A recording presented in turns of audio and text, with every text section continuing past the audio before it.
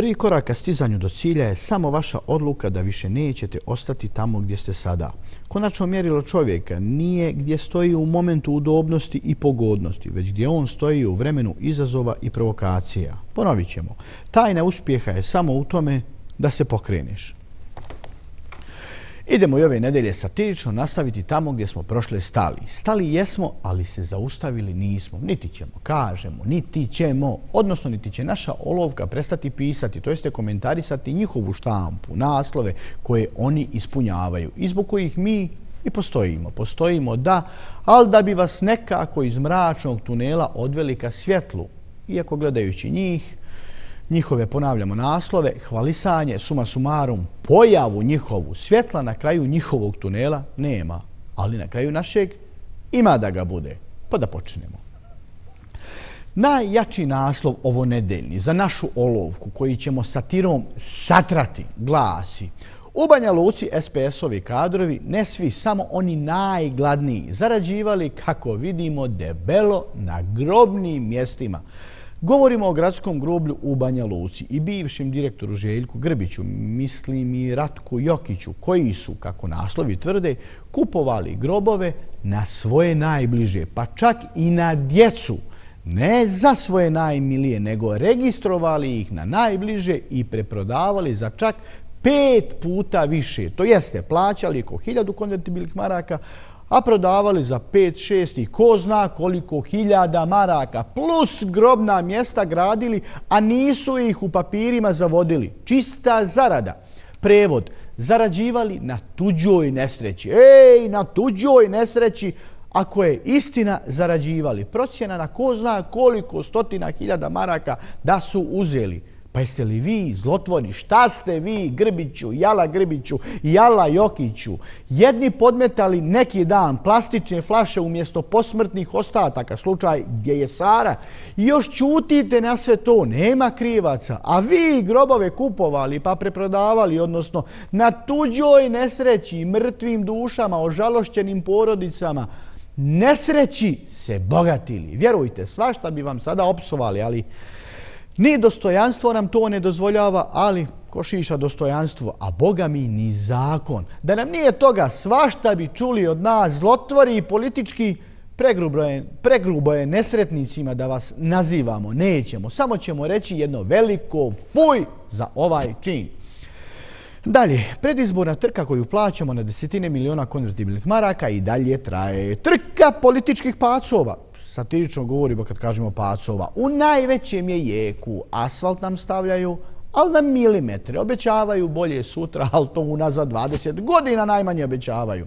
Zatim dovođenje koje kakvih stranih investitora, a mi skoro svaki dan ugasimo po jednu firmu, zalažu se da nam omladina ne odlazi vani, a svaki dan nam zvanično na desetine ljudi ode vani, da, ode a na domaćim, ne znamo, gradilištima, mlinovima, njivama, u ugostiteljskim objektima, odnosno u gradskom prevozu, Indijac, Turčin, Afganistanac, Pakistanac, Tadžikistanac, ma ni mi pojma sve nemamo ko nas to okružuje, ali vidimo da naših nema. Ima ih, ali negdje daleko, a njihovih samo nek se na ovome zaustavi. Onda naslov kaže Viškovićev, Radovana, finansijska situacija u Republici Srpskoj stabilna i da se obaveze redovno izmiruju. Tako kaže Čika Radovan. Stabilna finansijska situacija.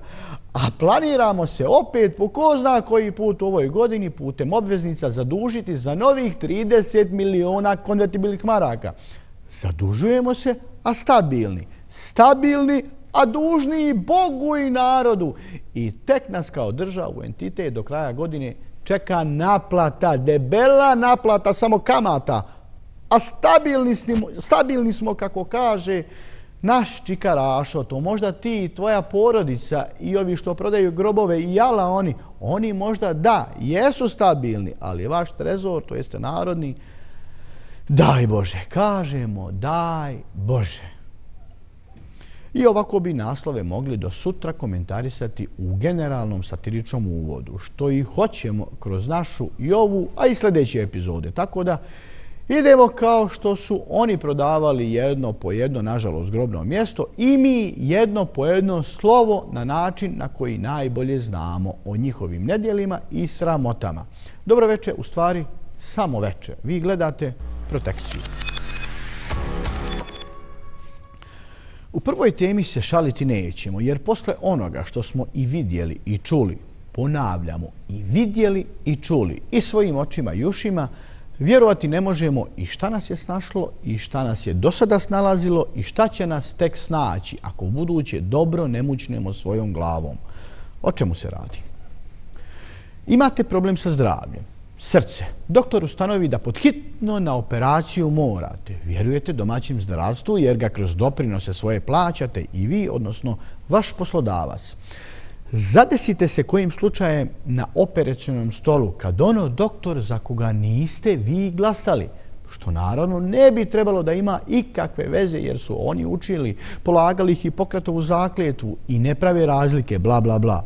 Ali ne ne lezi vraže, u politici ne važi ona Hipokratova. Smanjene su vam inače šanse za život. U ovom slučaju kažemo direktno i konkretno da se to odnosi na doktora Šobota, kandidata za gradonačelnika Banja Luke, za kojeg ako slučajno ne glasate, a on to sazna, već ste jednom nogom uveliko u onom grobu, satirično kažemo, što ga kupuju za hiljadu, a preprodavaju za mnogo više hiljada konvertibilnih maraka. To sad satirično opet kažemo mi, ali pred svojim glasačima SNSD-ovi Milorad Dodik, a na ovu temu se nije šalio.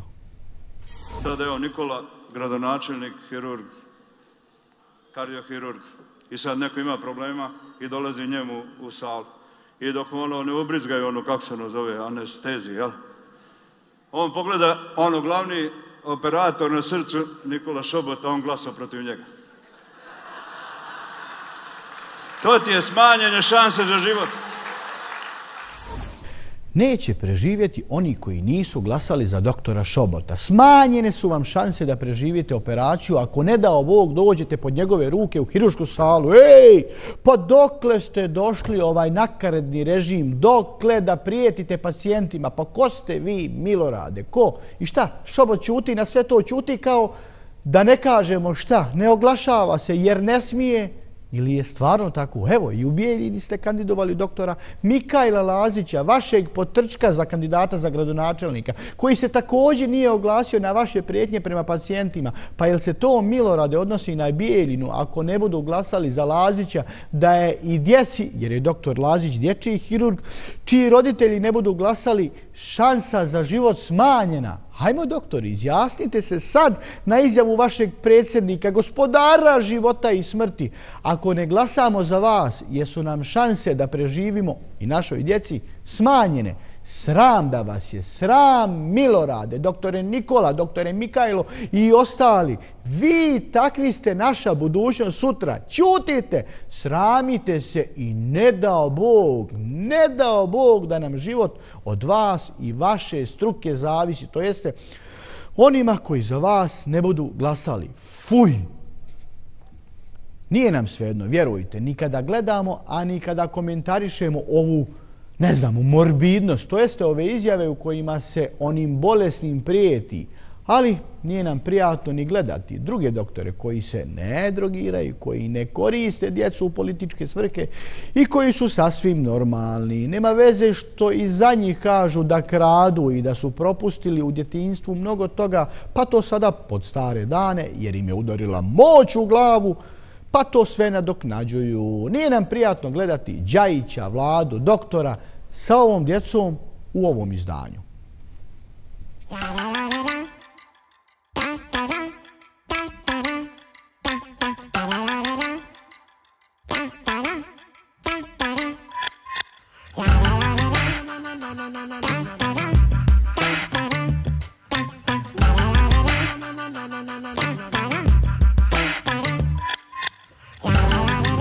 Đajiću, pa nije ti to Rada Manojlović, znači u mini suknju balaviš, nije ti to Breskvica koju na očigled mnogih onako potajno dodiruješ, po strukiću da niko kao ne vidi. Nije ti to hala u Čajevcu u kojoj smo svega osim morala vidjeli i prikazali. To su djeca Đajiću.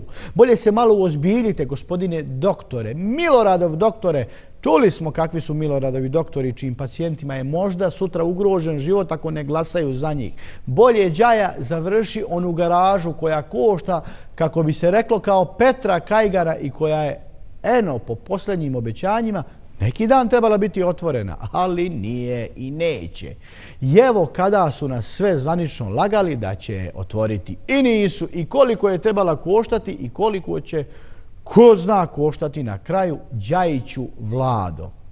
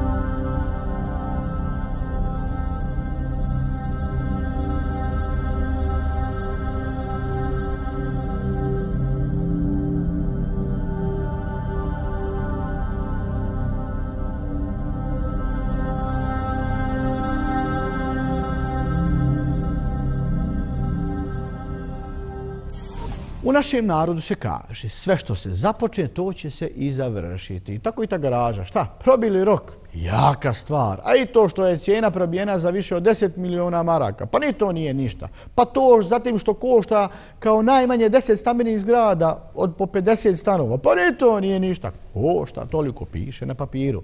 Inače, ček samo još koji koncert u Čajevcu da prođe, još koji milion da potrošimo, prođu izbori, mi se iskreveljimo. E onda vam obećavamo, bit će garaža gotova a to sad za te milione što smo probili da će još poskupiti, to vam ne obećavamo.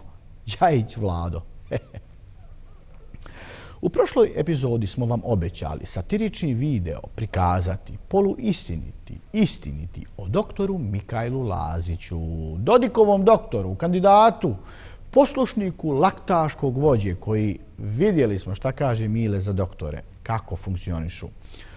Obećali smo vam prikazati iz ugla naše olovke kako marioneta bijeljinske SNSD-ove elite, čitaj satirično mafije, koja se posakrivala u političke mišije rupe. Ovih dana luta po Semberi, glumi u koje kakvim predizbornim spotovima.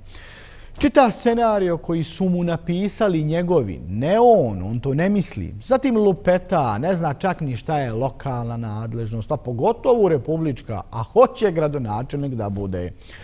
Sluša inače svoju ženu, Maru, koja se također sluša u crvenim redovima, ali ono baš, baš sluša. E taj film koji je režirala naša olovka se zove Riljaj Lazo, Marin Lazo, Lazo, doktor Lazić. Riljaj kako ja, Mara, kažem, odnosno mi iz Mišije Rupe kažemo. Ti se ne pitaš inače ništa. Riljaj i ne osvrći se na nas, gubitnike.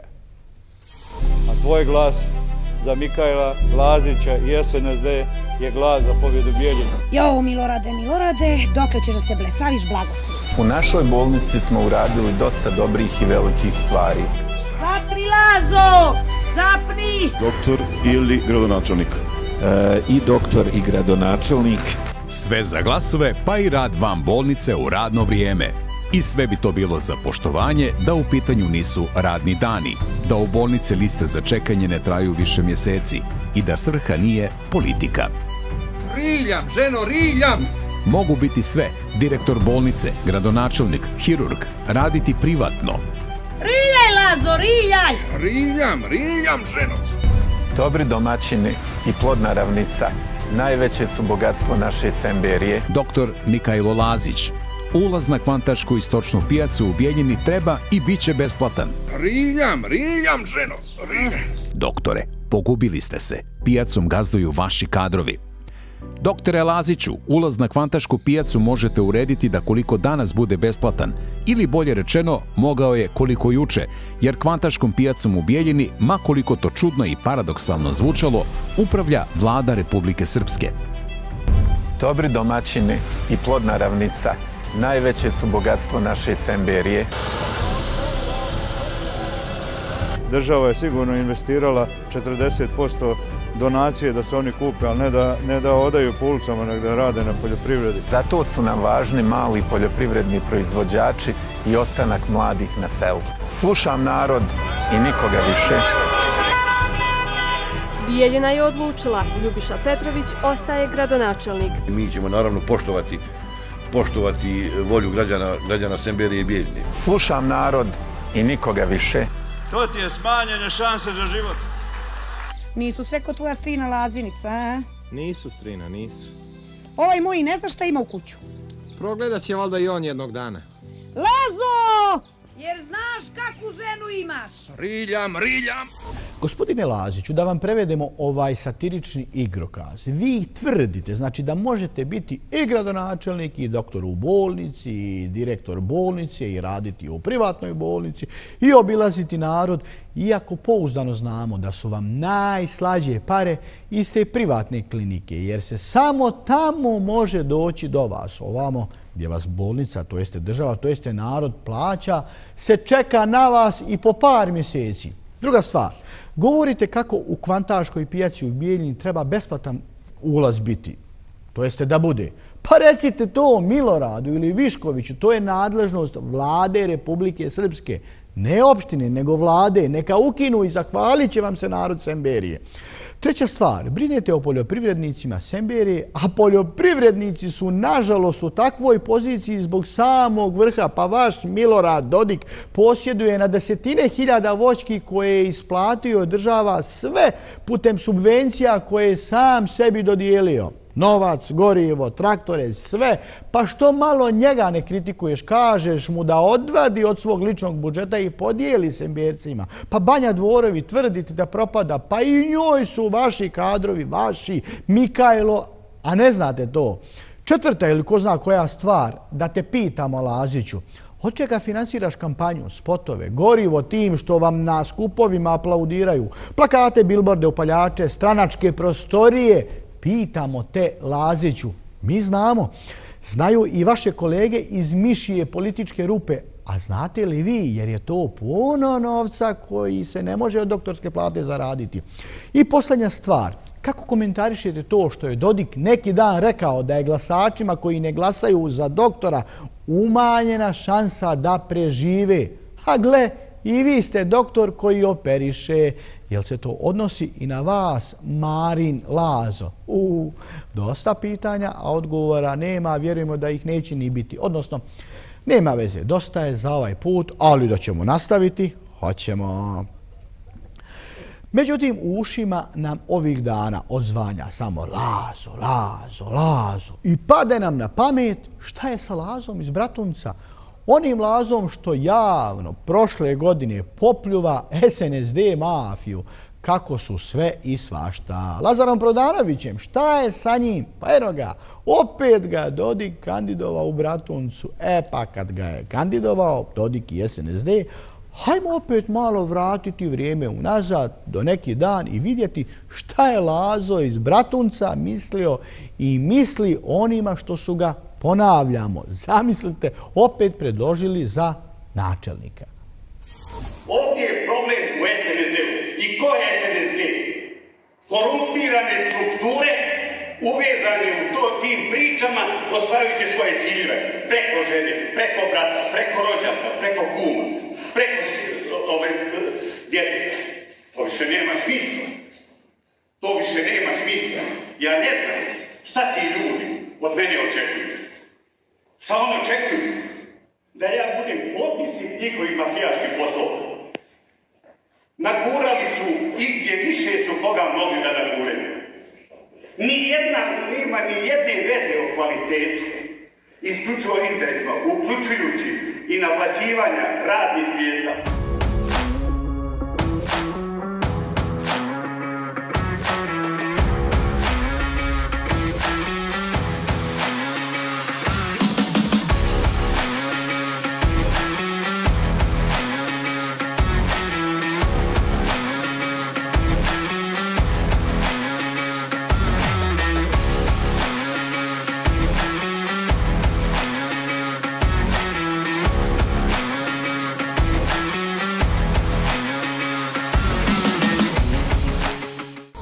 Pa dobro, šta? Nije ovo ništa. Vojin Mitrović je li govorio da je Dodik najveći izdajnik, lopov? E, izdajnik i mafijaš. Eno ga, ministar sada. A do ministra promijenio milion jednu funkciju.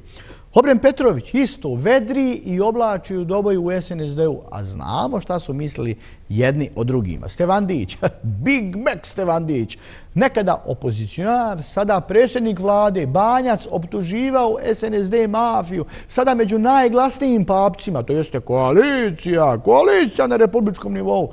Nešić na skupu govnjevom motkom pozivao da se tuku oni koji izdaju. Eno ga, i on ministar Selak, On je nekako i okej, okay, ali njegovi, gle, grobove preprodavaju i tako mogli bi do sutra. I šta očekivati od bratunca, to jeste Lazo Prodanović ispred mafije, ponovo za gradonačelnika, da, glasajmo za Lazu. Nego hajmo mi napraviti blagu pauzu da malo predahnemo i skontamo malo bolje kom papku podršku dati. Odnosno, kandidatu. Tako da, pauza za reklame.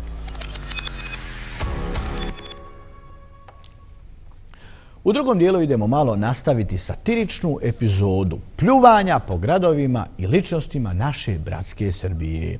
Imali smo priliku na RTS-u, da, RTS-u, govoriti za Đokoviće da su teški, da su ciganija a u iz kostima laktaškog doktora za doktore. A sad ćemo malo preobući se u kostim Marinka Umičevića, ovogodišnjeg SNSD-ovog kandidata za odbornika u Banja Luci, koji je također na RTS-ovom drugom kanalu onako na svoj način prikazao prelijepa manja mjesta Srbije. Loznicu na prvom mjestu, na primjer Šabac, na primjer Um, na primjer Čajetinu, na primjer prelijepo Valjevo, na primjer prelijep Mali Zvornik, na primjer mnoga ostala prelijepa mjesta u Srbiji.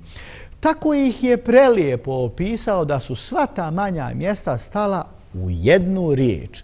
Vuko jebine, da prostite izvinjavamo se, u kojima ne treba ništa da se događa. Srbija je Beograd i Novi Sad, a ovo sve opet praštajte nam Vukojebine iz usta Umičevića. Dragi prijatelji, zahvaljujem čestam ekipi Vojvodne, mada ste malo, brate, pretirali. Dajte i mi jedne godine, pustite malo. Šta se zapijeli svaki puta, najbolji ste vi, jeste najbolji, mi vam priznamo, daj da malo i mi prodišemo. Želim da se lijepo vrate svoje kuće. Nadam se da je bilo dobro, da je bila dobra organizacija. Mi smo stvarno potrudili grad Banja Luka, zahvaljujući predsjedniku Milorad Dodiku koji je pomogao financijski. U stvari se ovo sve drže, on je to naplatio, dao nam pomoć i moralnu i verbalnu i podršku i sredstva da je ovo sve odrije kako treba. Ja sam da ste bili zadovoljni. Sretno vidimo se ako Bog da dogodne u Srbiji, ali da to bude i novi sad jednom, da se malo i vi potrošite. Nemoj da idemo u Loznicu, da idemo tamo, šta ja znam, po onim nekim vukujebinama, da to bude i novi sad. Budite domaćini, e, potrošite koji dinar i vi. To vidite malo kako je to. Živi za bili sretno i hvala što ste nam došli. Mnogo duhovito, ali eto, uživo program.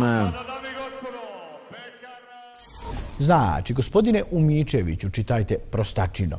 Gospodine, za vas je Losica Vukojebina i ne libite se to reći na javnom servisu u live prenosu. Pa ček, jel to znači i kada Vučića pozovete, na primjer, u Srbac gdje je donirao vrtić ili Đelinac ili Bijeljinu koju je dao autoput ili bilo koji drugi grad u Republici Srpskoj, da i on mogao reći, ma šta ću ja tamo u tim Vukojebinama, da prostite, hoću samo u Banja Luku.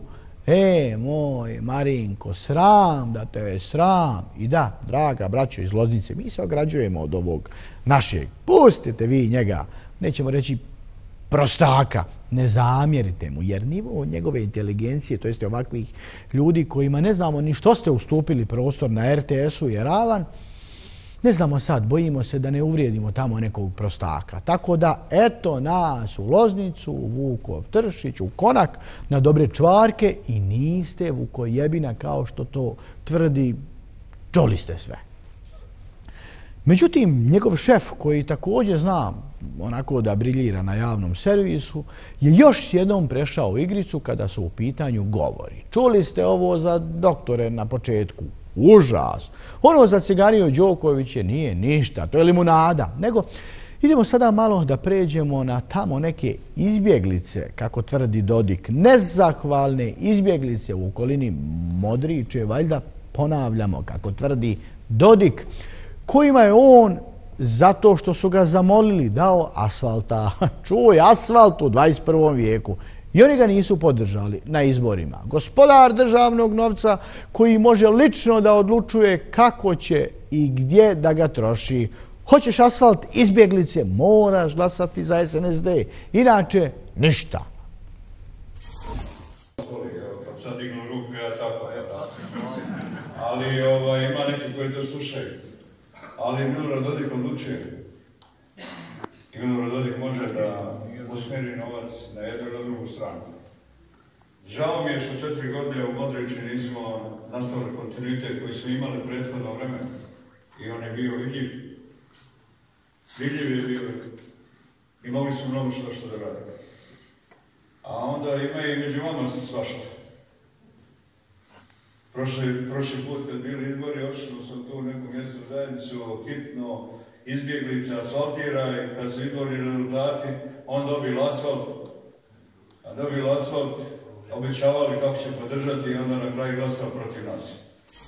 Čuj, Milorad Dodik može da usmeri novac na jednu ili na drugu stranu.